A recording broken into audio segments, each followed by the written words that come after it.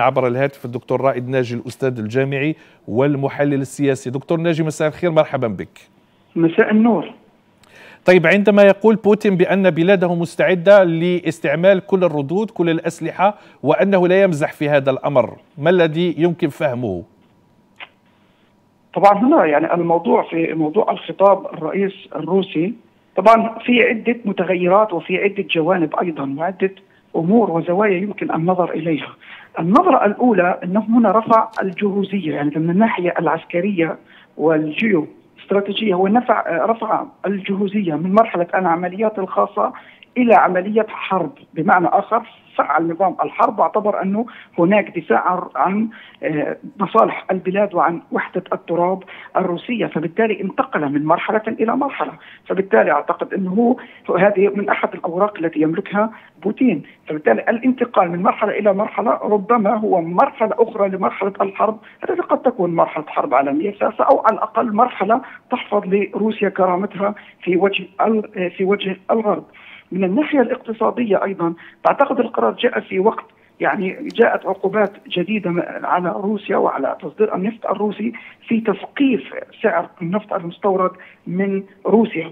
لكن اليوم بعد هذا القرار يرتفع إلى معدلات كبيرة يعني ويعيد انتعاش النفط فبالتالي تصبح البترول يرتفع بشكل كبير جدا وبشكل حاد في نفس الوقت يهبط سعر آه، اليورو لمستوى هابط يعني هذا اليوم. نتيجة هذه التداعيات أو نتيجة هذا خطاب التعبئة. الزاوية الأخرى وهي المهمة جدا ربما جاء بعد يعني ذهاب بوتين إلى قمة الشنغهاي يعني فبالتالي قمة الشنغهاي ولقائه بالرئيس آه، الصيني ثم آه، أردوغان ثم رئيس إيران. كل هذه مؤشرات إلى أنه الخطاب جاء بعد التفكير وبعد يعني بعد نظر من القيادة الروسية. ليس كما أتوقع كما يظن يعني الردود الغربية بأنه فشل. هو نعم هو تراجعوا في خاركيف يعني أكيد تراجعوا تراجعت القوات الروسية.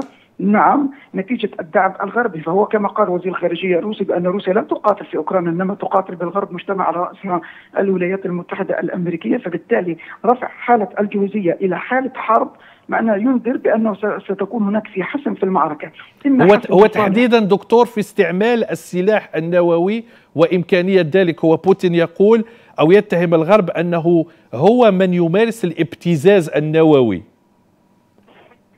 طبعا هو هو هو القانون الروسي يمكن أن يستخدم النووي في حالتين يعني في حالة يعني يكون هناك حرب مدمرة لروسيا أو في حالة استهداف الوجود الروسي، فهو لما يرفع الجهوزيه إلى مرحلة حرب معناها إذا دخل في حرب مع الغرب وصارت هناك حالة تستدعي آه، استخدام النووي لإثبات الوجود الروسي أو عدم اختفاء الوجود الروسي أو تدمير الوجود الروسي فهو طبعا سيستخدم هذا السلاح. ولهذا ربما هو انتقل إلى خطوة أخرى من أجل مزيد من الرعب بالعقد من أجل التصعيد مع الغرب حتى يتوقفوا عن دعم أوكرانيا بالتحديد. وهو في نفس الوقت لجأ إلى قضية الاستفتاء على بعض المقاطعات المقاطعات في داخل أوكرانيا حتى ينقل حتى المعركة حتى لا تدخل المعركة في داخل الحدود الروسية وتبقى المعركة خارج الحدود الروسية. فهذا هو ما يفكر فيه فبالتالي رفع الاحتياط من 300 ألف جندي رغم أنه يقول هناك في الاحتياط أكثر من 25 مليون يعني. فبالتالي هو الدلالة هذه التعبئه الجزئيه طبعا ليس تعبئه كلية. هذا الدلاله على أنه بوتين الآن يدفع باوراق بأوراقه. لن أقول لك الأخيرة وإنما بأوراقه اللي بدأت تنفذ يعني نوعا ما بأوراق حقيقة يجعلها في مرمى المواجهة مع الغرب بشكل واضح جدا، إما أن يتراجع الغرب وإما أن تحقق روسيا مصالحها طيب بدأ الغرب دكتور ناجي بدأ الغرب نوعا ما أو كف عن مد أوكرانيا بالأسلحة التي كانت تطلبها في المدة الأخيرة حتى كانت هنالك كان هنالك غضب أوكراني من قرار ألماني في هذا الصدد وأمريكي أيضا. هل هذا معناه بأن الغرب وصلته رسالة بوتين بأن توقفوا عن مواجهتنا لأننا الآن لا نواجه أوكرانيا بل الغرب بأسلحته وأقماره الصناعية وابتزازه النووي. طبعا هو الغرب الآن يعني دائما السياسة براغماتية فبالتالي الغرب الآن ينظر من المصلحة البراغماتية وخاصة أنه على أبواب الشتاء وحتى روسيا على أبواب الشتاء وتدرك صعوبة يعني الظروف والمناخ القاسي في الشتاء في كل من روسيا وأوروبا فبالتالي بوتين يريد أن يتقدم في المعركة جزئيا قبل حلول الشتاء وفي نفس الوقت أوروبا تريد أن تستفيد من النفط يعني قبل الشتاء لأنه سيواجه أزمة حادة بدليل أنه اليوم الكثير من من الدول الأوروبية راجعت موضوع الترفيه ومنحة الترفيه وخدمات الكثيرة في داخل أوروبا بما فيهم صندوق الضمان والشيخوخة. يعني تم تخفيض هذه الأمور دلالة على أنه في خوف كبير جدا في داخل أوروبا. فبعتقد أنه حتى هو اليوم نعم هو زيلينسكي اليوم في خطابه لأحد القنوات الألمانية قال أنه يتمنى على ألمانيا أن تعود وتدعمه بأسلحة وأمور استخباراتية وغير ذلك. نعم هذا الكلام.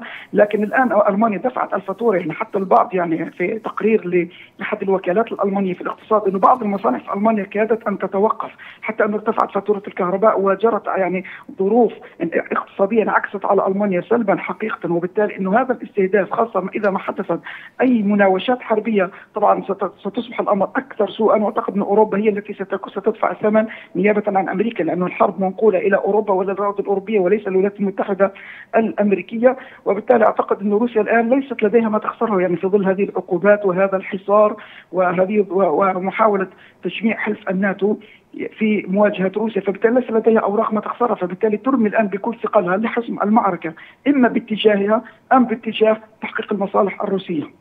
دكتور رايد ناجي الأستاذ الجامعي والمحلل السياسي كنت معنا عبر الهاتف شكرا جزيلا لك. عفوا. البارح كنا حكينا على روسيا والرئيس